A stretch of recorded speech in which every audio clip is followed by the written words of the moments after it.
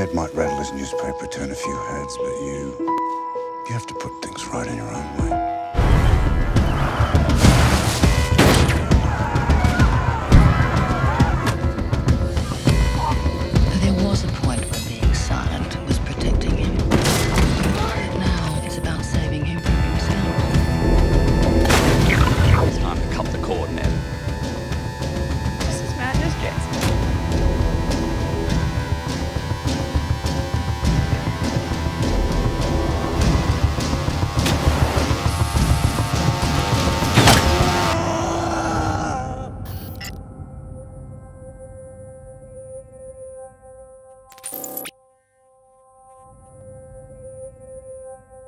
Playmaker um, went to Screen Australia and proposed a, um, I guess, an experimental model which would allow three writers to spend two days a fortnight slowly de developing an idea,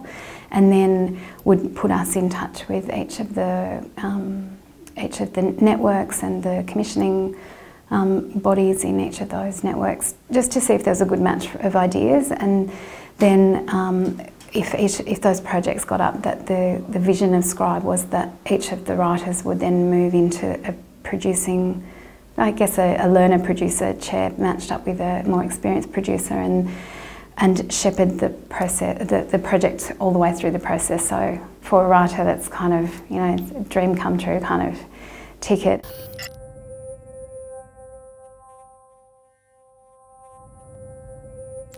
I feel incredibly privileged to have had the chance to, to make this story in this way. Um,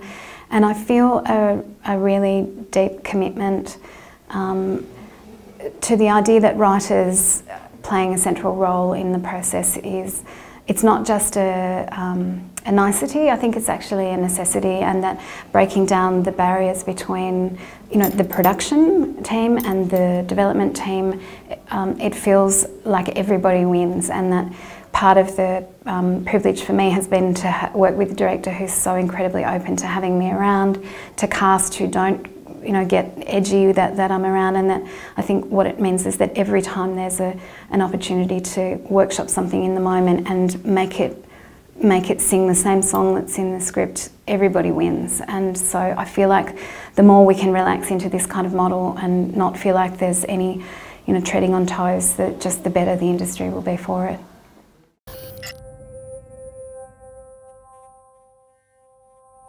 It feels like the, the quality of television right around the world has really taken a massive leap forward in the last 10 years and with the kinds of stories that you're able to tell um, and again the kind of talent that it attracts both on and off screen um, kind of writers and the,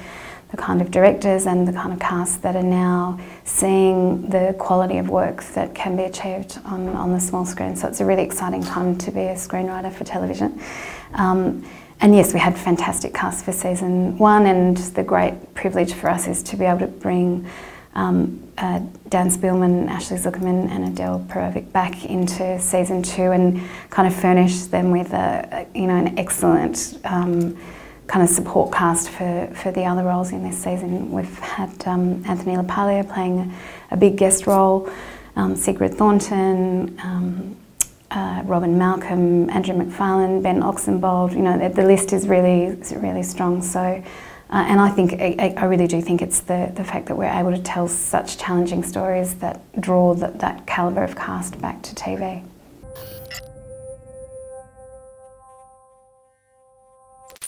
I really feel like storytelling now is um, is much more borderless than it used to be. Um, first and foremost, the code was always a story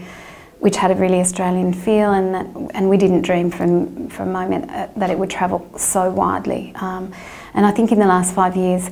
more and more there's a sense that if the story is true and it's human and it, and it's relevant, that it, that that the accent doesn't doesn't matter. Um, and it, and that was the feedback again uh, over and over as we travelled with the show was that um, the quality of the material the way that it was delivered, the direction, the cinematography, the production design, it was at, at an absolute equal with overseas product and the story had an international flavour. It was as relevant if you were in, in Sydney or in Finland. Um, so I guess going into season two, we, we just felt we, we we would just follow that same same idea that the stories were human, that the issues were international. Yeah. And we and we just get the beauty of making it here in this fantastic Yeah. location.